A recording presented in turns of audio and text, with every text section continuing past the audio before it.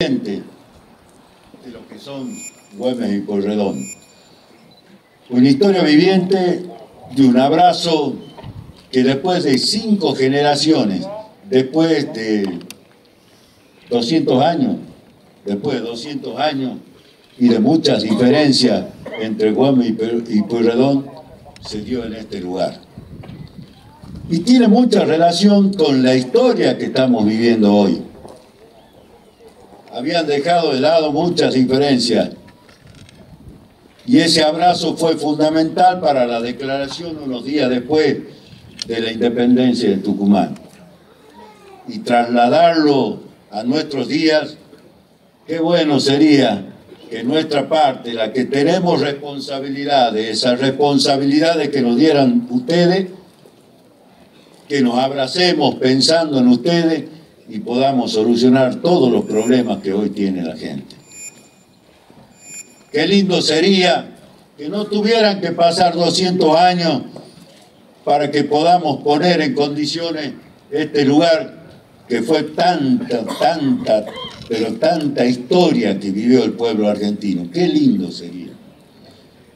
Qué lindo sería que nos empecemos a ocupar de nuestra historia, porque es tan rica, tan linda, que no tengan que pasar 200 años para que nos empecemos a acordar o empecemos a averiguar las cosas que, que habían pasado.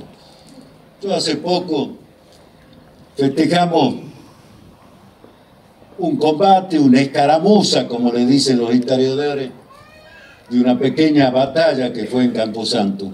Y la verdad, la verdad que debo pedir perdón, porque con tantos años de intendente, yo no sabía de la existencia de esta pequeña escaramuza.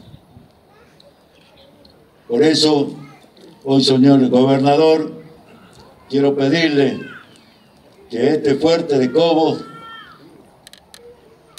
realmente tenga las vivencias que este pueblo de Cobos quiere, que este, este fuerte de Cobos tenga la atención permanente, vamos a acompañar, pero necesitamos de esa decisión provincial para que juntos podamos seguir reviviendo la historia de nuestra provincia, la historia de nuestro país. Muchísimas gracias.